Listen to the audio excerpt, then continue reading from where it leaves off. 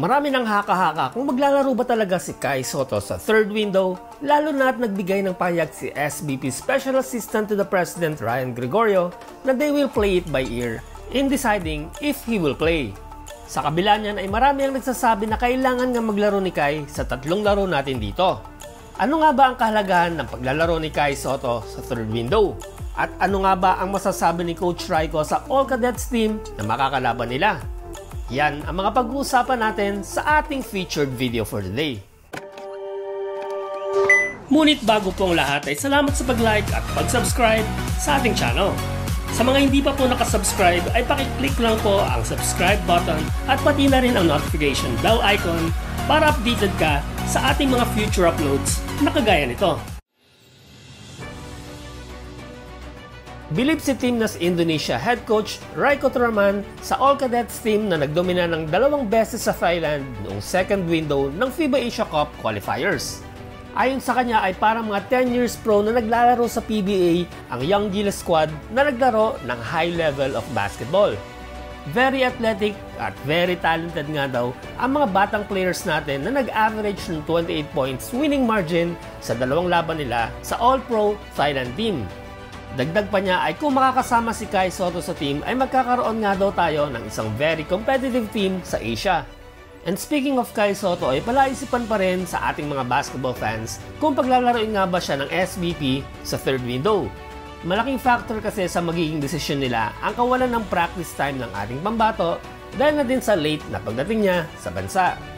Kung hindi lang sana tayo nasa pandemic ay panigurado na makakasama na siya sa Final 12 ng Gilas.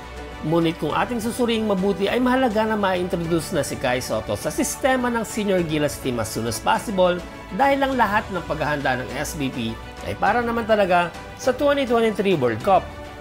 Ang paglalaro ni Kai sa Gilas during the early stages ng ating development ay makakatulong para ma-break in siya sa laruan on a senior level.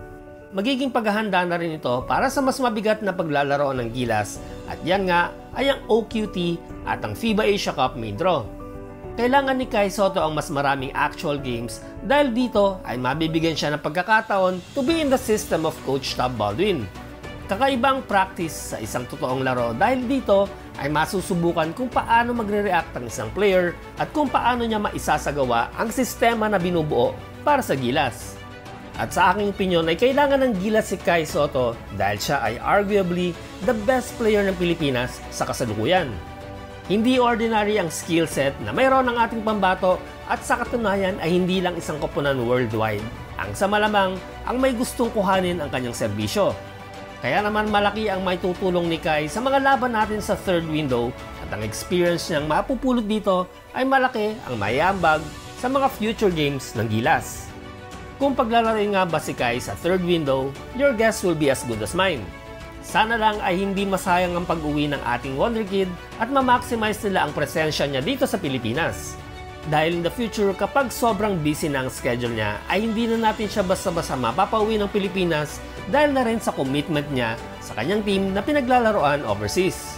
Kaya naman every bit of experience na makukuha ni Kai sa paglalaro in as much games as possible in the early stages of Coach Tab's long and continuous program will help our national team in the long run.